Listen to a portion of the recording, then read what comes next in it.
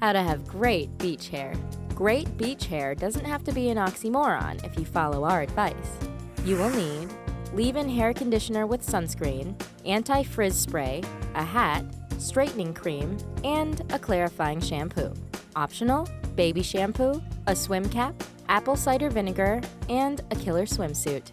Step 1. Before you head to the beach, wash your hair with a moisturizing shampoo, use a good conditioner, and then apply a leave-in conditioner with sunscreen.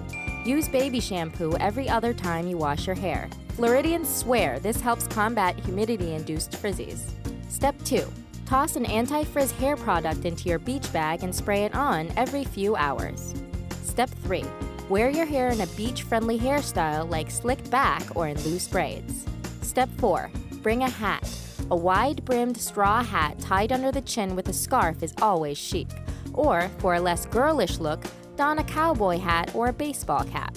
If you really want to protect that expensive dye job, wear a swim cap. For added protection, wet your hair with tap water before you put it in the cap. Step 5. Rinse your hair with fresh water as soon as you come out of the pool or ocean. Step 6. Rub a small dab of straightening cream between your hands and then wipe it on your hair if it starts to frizz.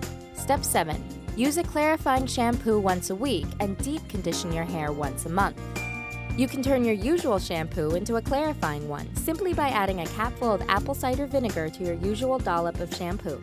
Step 8. Buy a killer bathing suit. Then, no one will be looking at your hair. Did you know? 94% of women surveyed say they feel more confident on a day when they love their hair, but 66% of them only love their hair one day a week.